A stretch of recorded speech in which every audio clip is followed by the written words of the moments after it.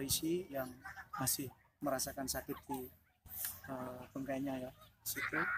Uh, Arthur tadi ada terasa sedikit tidak saya paksa saya lihat dia sebetulnya mau ikut latihan terus. Ikut pak enggak enggak apa-apa. Karena hari ini kita nyari kondisi.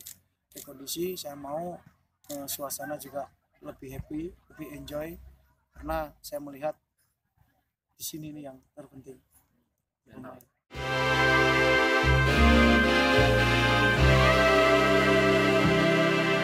Harian Surya, Spirit Baru, Jawa Timur.